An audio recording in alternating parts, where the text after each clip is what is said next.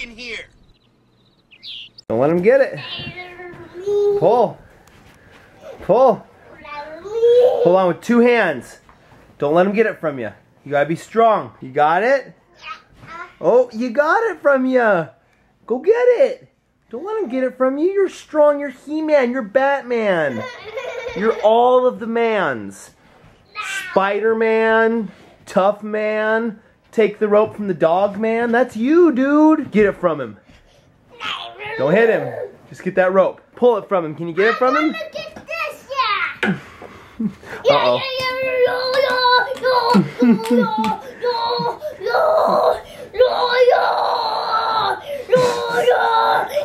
Oh, you distracted him.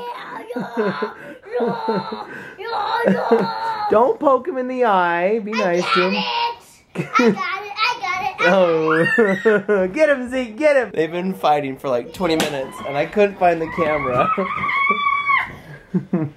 let him get it. Let him bite it, and then you let him see if he can pull it from you.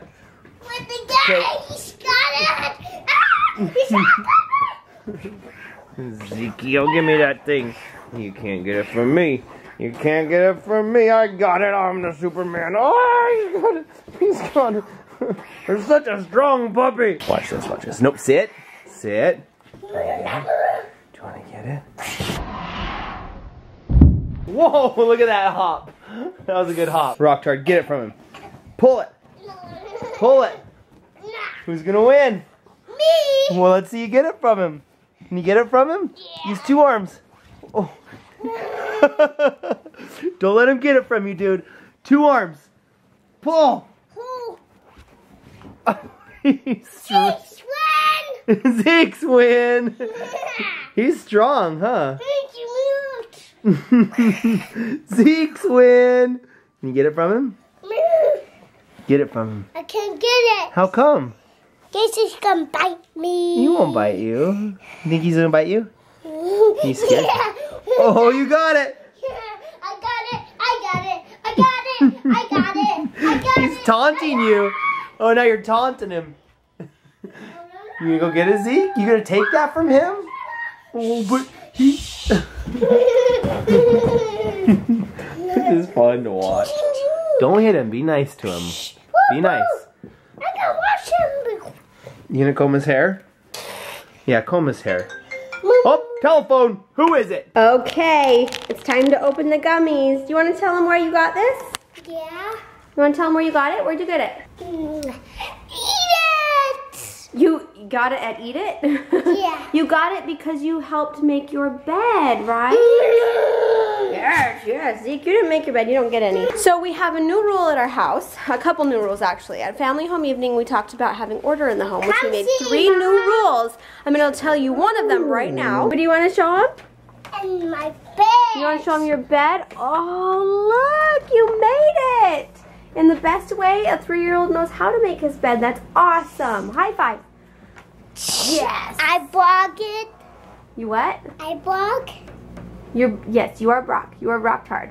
No, I block. Huh? I block. Oh, you vlog? Yeah. Oh, yeah, you want to vlog? Here. Do you want to hold the camera? Yeah. Hi, guys. So what we want to tell them is our new rule is that we have to make our beds every morning. As soon as you roll out of bed, even before you get dressed or go potty, you make your bed, right? Okay. That's what we're telling them. Don't push any buttons, okay? okay. and then, can you guys see me okay? Yeah? And then, Yeah. sometimes, not every time, but if you make your bed, you just might get a treat.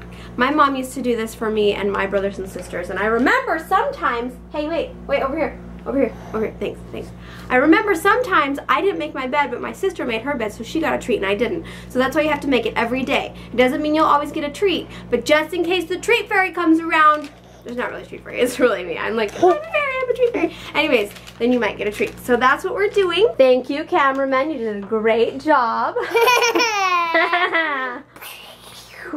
and luckily, Sontard made his bed. It looks a little worn because he's jumping in it, but that's okay. He made his bed so he gets a gummy, and then the girls also made their beds. So we're doing good, but it's time to go get them now. Hey, the bun gun. Okay, you silly. what are these? You have alien fingers on your belly. I love you. Hi. Hello. Oh, that's a good smile.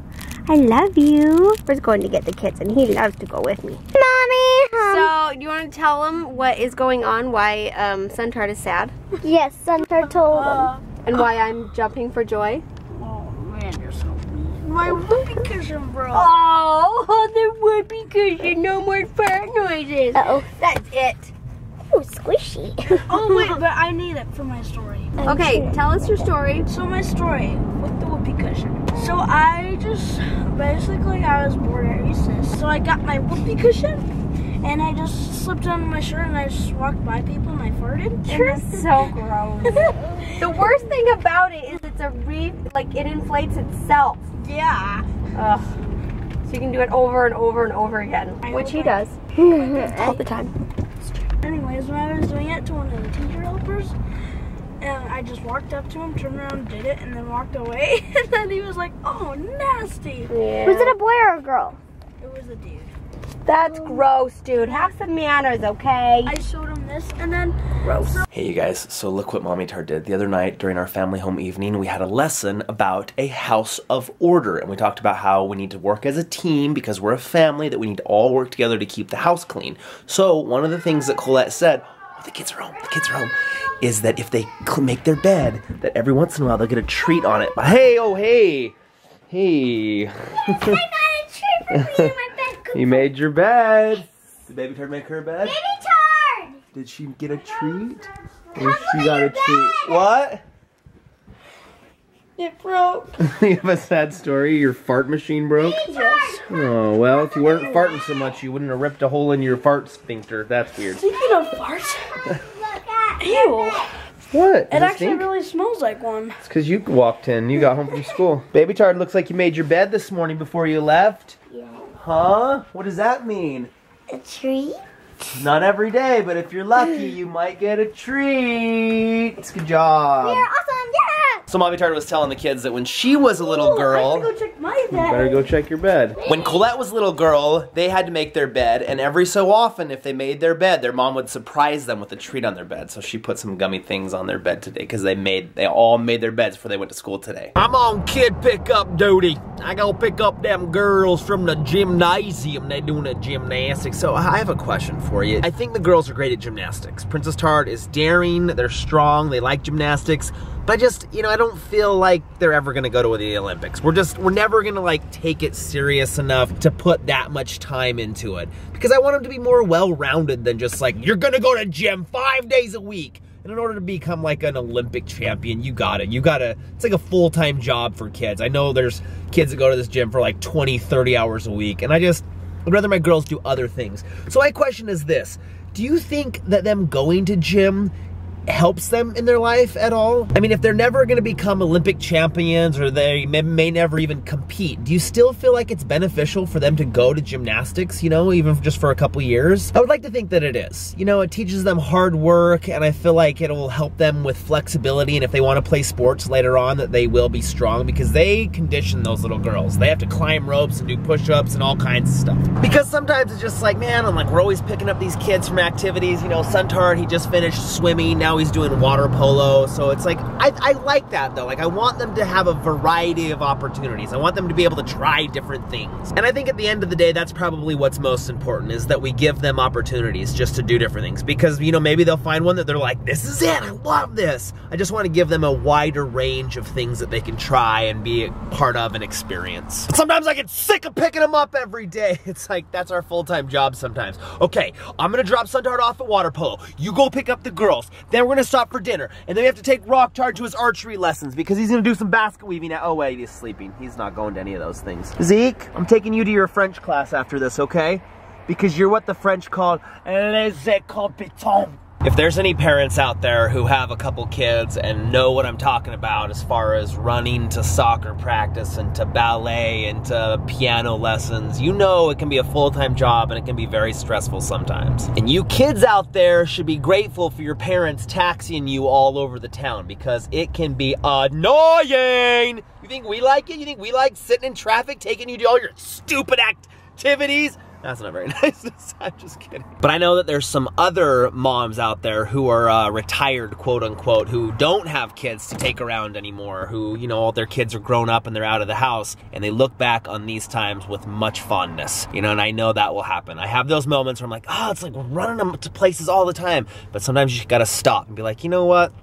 Time flies, man. And before you know it, you're gonna blink your eye and this life is gonna be over. Or the kids are gonna be moved out of the house. They're gonna be graduated and it's just gonna be me and Colette and we're gonna be like, remember when we used to take her to gymnastics? I miss those times. Why don't we enjoy those times more? That's the secret of life.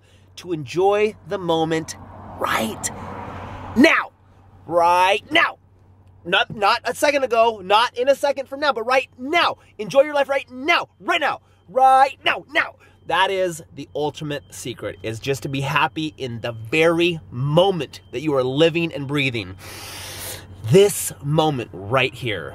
That's the time to be happy, and that's the secret to life. Oh, he's so special. I love you, little boy. Oh, look who woke up. I got it, Dad. Did you get it? Yeah. You're so talented. You're gonna fall on your head and get a concussion. I'm not. Don't die, okay? Hello. Hello. I think I want to tickle you. Can I ask you a question real quick? What? Will you raise your arms and let me stick my finger in your armpit? No. I want to tickle you. I raised, I raised my arm. I raised my arm. I want to tickle it. I got it. What do you think? You think you'll go to the Olympics one day? Yeah. Yeah, of course you will. Speaking actually of Olympic champions, McKayla Maroney is training here right now. That's pretty cool. Hey, do you realize that? A girl who's been to the greatest competition in the world is down there. The gold medalist, McKayla Maroney, is down there on the same gym floor that you worked out on. Do you believe that? What's that, sir? You front flip. Okay, let's see your front flip. You won with a front flip? I doubt it, dude. The judges are expecting a lot more this year. You're gonna have to do at least a quadruple front flip. You're not gonna win with a single front flip. Give me a break. That's pathetic. Watch this, Dad. Well, that's good. That's good. I don't think this is what we're supposed to be doing on these bars. You're gonna rip your arms out of socket, dude. Careful. I don't think your arms are supposed to spin that way. That's cool. Sports Illustrated. That's McKayla right there. McKayla Maroney. Hey, so I have a question for you guys. Do you ever talk to McKayla Maroney? Did you see her? You know she was there today? You don't talk to her? She was here. I, I, She what? I just see her. Oh yeah, she was there. You ever talk to her? Not really. She, do you guys realize how famous she is? She met President Obama. She's been on the Jay Leno show. Does that mean anything to you? No. That's pretty cool. Like, I don't want to film her. I don't want to vlog McKayla Maroney doing her routine because, like, what if I'm giving away secrets? She's preparing for the next Olympics, and if I vlogged her, then, like, her competition, the Russian gymnasts would have seen, they would have know what outfit she had on and what song she was going to select, and they would copy and steal them, and that would be a national travesty if I gave away McKayla Maroney's next techniques for the new Olympics. Think about it. That's that's that's international espionage if you're not careful, ladies. No? Okay. Let's go home. Did you just call me a weirdo? I'll bite you. Ba, ba. Okay, start from the top. Dad, Read that whole sentence. chewing the gum. Chewing the stick. Kid. No, she's chewing the No, stop right here. When went to work. They work no, you're just just they what? did a Law. lot of work. No. Three big men. Good. So cute in that hat. On Kim's big mess. On big mess, right? The two kids went to work. They did a lot of work on Kim's big mess because her room was a mess. Kim, seriously? Girl, you gotta clean up your Girl. room, Would you girl. stop, you little camera hog? Nobody cares about you. Spank your bum, spank your bum. Oh, well, let's go see what we're making for dinner tonight. It's a baby! Oh, are you mad at me because I left you? I really don't understand why this is different from everything that's happened. Resistance, our gas shots. You guys are Tuck them under the arm. Watch some, watch some Shark Tank.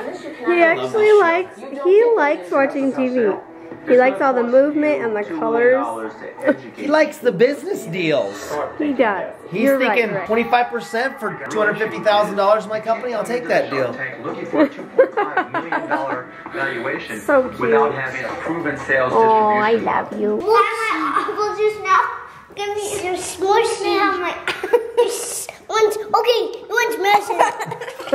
medicine. He's not medicine. He's not medicine. Are you the doctor? Drink your medicine.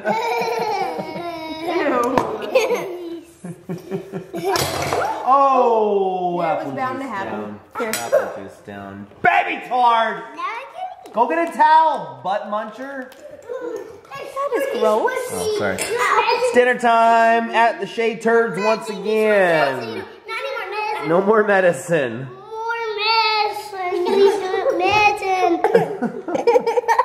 I don't know, you guys get sick of me filming when we're eating? I feel like we just vlogged that we are eating dinner. I have a question. What's your favorite thing for us to vlog? Like if you were to pick one type of footage, is there a thing like a type of footage? What would you have us vlog? Like us hanging out as a family? Do you like when we're cooking in the kitchen? Do you like to see when we're eating dinner? Do you like, when we're at events? at events? Do you like to be in spaghetti? Yeah, shopping. What's your favorite type of vlog footage? And also, I want you to leave comments below. Which one is your favorite kid? Because I know I got my favorite. Who do you guys think is my favorite? Mommy time. Daxton. Think Daxton. Mommy time. you're right. It is mommy. time. Does that make you guys? Does that make you guys feel bad that I love your mom more than you? Yes, because she's not even your child. You imagine, you imagine, you imagine what?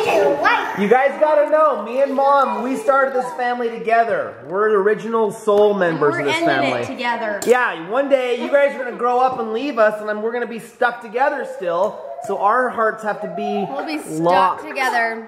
It will Locked. be so painful. I'm excited to be stuck to you forever. I love you forever. Stuck like glue. Is that a song? Yeah. So leave us a comment below. I want to know what's your favorite kind of footage and who's your favorite kid. Oh, daddy. Ow, daddy. Rock Tard. Oh, Leave your sister alone. What are you doing? my finger. You butt munch. A family that eats spaghetti together stays together. I've gotten some crap from some of you in the past for telling the kids that I love their mom more than I love them. They know that I love them. I actually think that one of the most important things I can do for my children is to show that I love their mother. And I think that is so key in the young development of a child's life that they know that their mom and dad love each other unconditionally and that they'll always be together. And it breaks my heart when I read comments from you guys talking to me about how your parents have split up or how they fight. Hang in there. We are here for you and we love you, and you can create the relationship that you want when you grow older. Don't give up on love. This is a love song. Don't ever give up on love. I don't know. All right, click on a vlog. Yesterday's vlog was a pretty good one. If you missed it, Princess Tard sang a Taylor Swift cover at the end of the vlog. Click on that Feeling Lucky button if you want to see what the Shaytards are doing one, two, three, or four years ago on this very day. Click on those corresponding numbers. Follow us on Facebook, Twitter, and Instagram. We love you. We'll see you tomorrow.